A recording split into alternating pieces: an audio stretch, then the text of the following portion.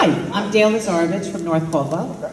I met you at a town hall meeting in Caldwell a couple years ago. We discussed college tuition in New Jersey. Yep, So, um, keep going. okay.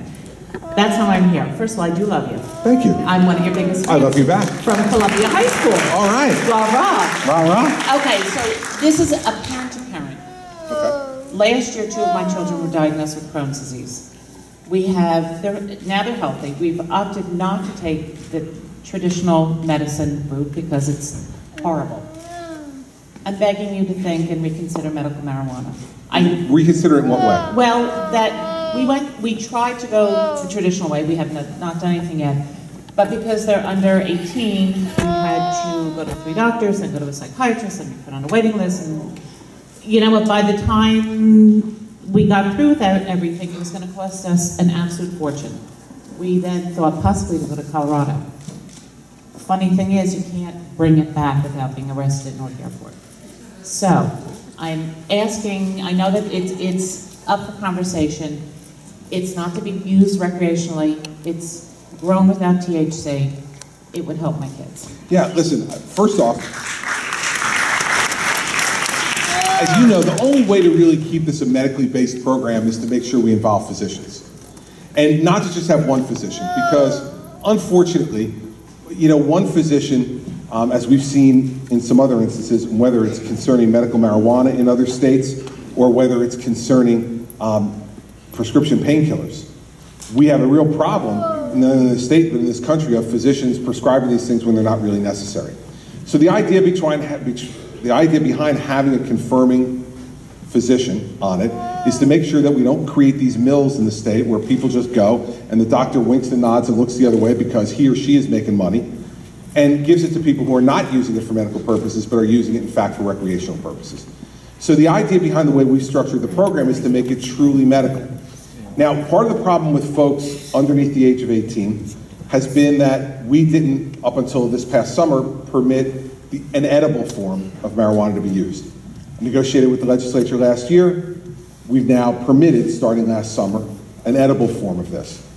Now, part of the problem is that the folks who run these clinics in the state um, are only going to produce those things where they think they can make money. And so the demand overall for medical marijuana in the state has not been nearly as large as people thought it was going to be, and for the edibles, even less.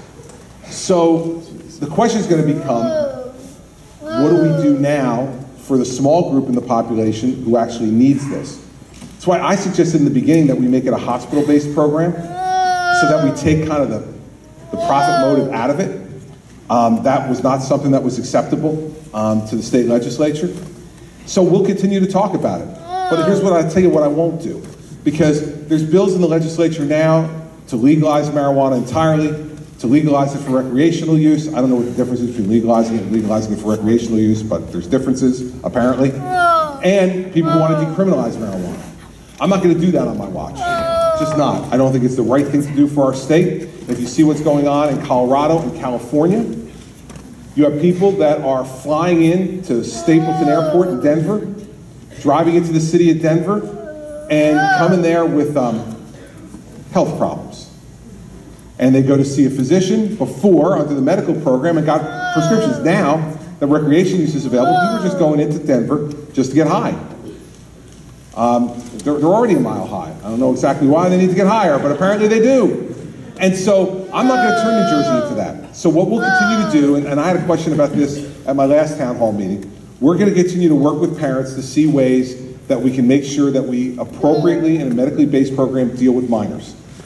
And I think that the problem that we're having now is that there's just not enough demand for it, so they're not producing it. So it's making it harder and harder for you to get the get the product because that's what you're on the waiting list for is to get the product. And I don't know if what we're going to have to do ultimately is force these folks as, as part of their license to produce this, even though they won't make a profit off of it. But that's all stuff that we can have conversations with the legislature about as we move forward. But what I'm not going to do is, in reaction to that, broaden the program so greatly that we wind up having a recreational use program in the state. I don't think it's good for our families. I don't think it's good for our state. And I have some people who are saying that you should do it just to tax it and make money. You know, I don't think that's where we need to go as a society. Um, and, and it's not something that I'm going to do.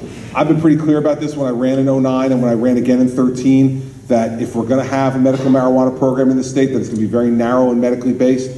But I showed last summer that I was willing to change and tweak it if people came to me with evidence that a certain part of the population was being unserved or underserved. So we'll continue to work with folks like you. Um, Nick will give you his card, send your information so we can have a member of my policy staff call you and talk about your particular issue and see if we can fix it through the administration. If we can't, then it'll be part of our overall discussions as we're discussing this issue again with the legislature going forward. But I want to be clear with everybody.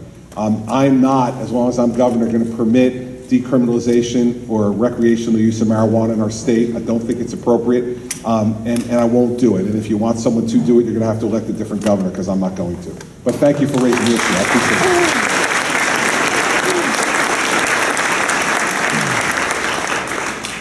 parents, parents that have some kids, we're not promoting because we don't want them to stay and say, look, that's hard. Right. It's not a license to smoke, but as opposed to taking medicated marijuana, that's sterilized and we don't. Yeah, listen, and, and, and my point to you is that I don't think it's the parents who are advocating for legalization. Um, what happens is people who want legalization for other reasons use cases like yours as an excuse to advocate for legalization. Not the particular parents, but others who are just advocates for legalization use this as an example for why we should just legalize it so we don't have to worry about it. So these parents can have access to it, and they're not really advocating for you, they're advocating for themselves, but they use you guys as a front. So I, I've spoken to enough parents who are in a situation similar to yours with different diseases as well, that I know that there's, this is an issue we gotta try to figure out. But I wanna make sure I figure it out in a way where it's narrow and we do it the right way and we don't hurt other folks. Thank you.